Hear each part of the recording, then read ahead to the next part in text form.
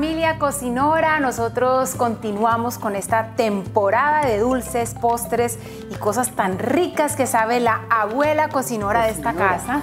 Ella es poderosa en la cocina, no solamente con la comida de sal, sino también con los postres. Esta es su especialidad y por eso hemos querido invitarla para que nos enseñe tantas cosas ricas como el postre de Milo, que es también tan famoso, hecho por las manos bendecidas de mi mamá. Así que, bueno, tenemos una cantidad de ingredientes.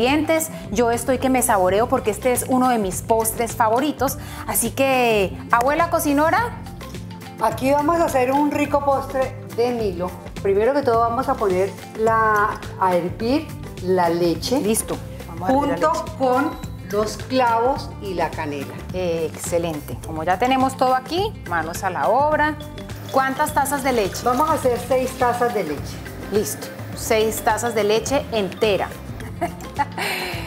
A cuatro manos entonces. Le agregamos los clavitos. Unos 8 a 10 clavos de olor para que eso se vaya aromatizando. Y vamos a echarle unas astillitas de canela. ¿No? Porque ahora que hierva hay que retirárselas. Como son 6 tazas de leche, eso quiere decir que vamos a agregar, incorporar 6 cucharadas colmadas, altas, altitas, de fécula de maíz, en Colombia la conocemos como maicena.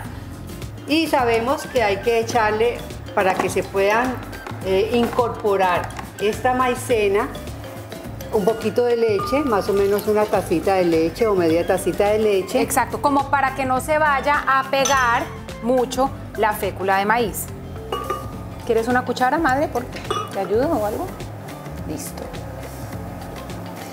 Yo le sugerí a mi mamá que esa leche tiene que estar como tibiecita para que cuando vayamos a agregarla a la otra leche no vaya a haber un choque térmico como de temperaturas y que no nos vayan a quedar grumos. Con esta taza y media de leche vamos a licuar la fécula de maíz.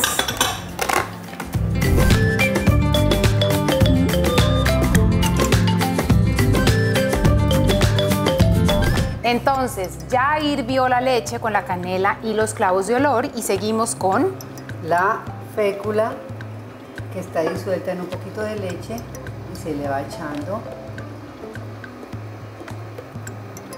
Listo, ven te ayudo. Pero al mismo tiempo hay que saber que, hay que no se puede dejar de estar mezclando. Eso es lo más importante, porque si no se forman grumos. ¿Cuántas tazas de, azúcar? ¿Cuántas tazas de azúcar? Allí hay taza y media de azúcar. Taza y media. No lo vas a echar todo. Ahí, probando.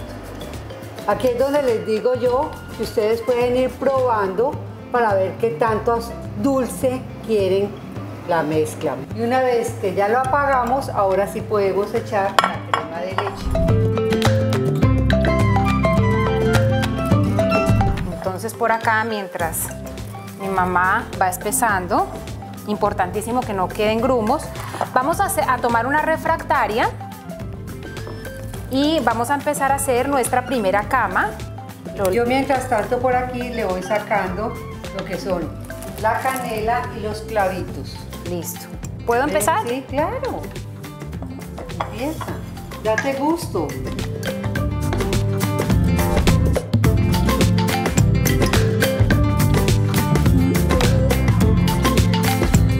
Ya tenemos nuestra primera capa de crema por aquí, vamos a espolvorear.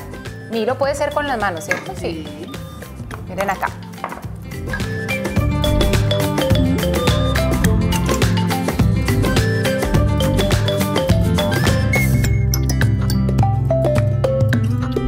Vamos a continuar con la crema.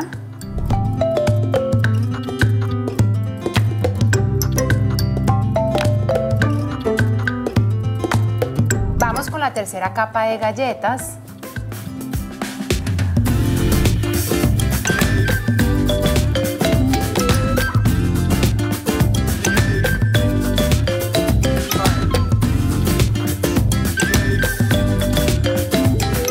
Hacer la receta una persona está bien, pero dos es calidad y calidad asegurada. Y más cuando uno tiene una abuelita cocinora preciosa como esta. Miren esta delicia, nuestro postre de Milo, para todos los que les encanta el tema del Milo, del Nesquik, de esas bebidas achocolatadas, sé que nos van a amar con esta receta, es algo sencillo, casero, pero delicioso. Recuerden activar las notificaciones, síganos en nuestras redes sociales, Paola Calle Oficial, la mamá cocinora y Trendeando. Aquí está este postre listo para ir a, a, la nevera. para poder comerse este postre porque hay que comérselo friecito. Y necesito por favor que nos den las opiniones, cómo les pareció, si le hicieron y cómo les fue. Un abrazo para todos. Listo, así Qué rico estar con ustedes. Así nos despedimos. Que tengan una feliz tarde, feliz mañana y bueno, nos vemos en otra oportunidad. Chao. Chao.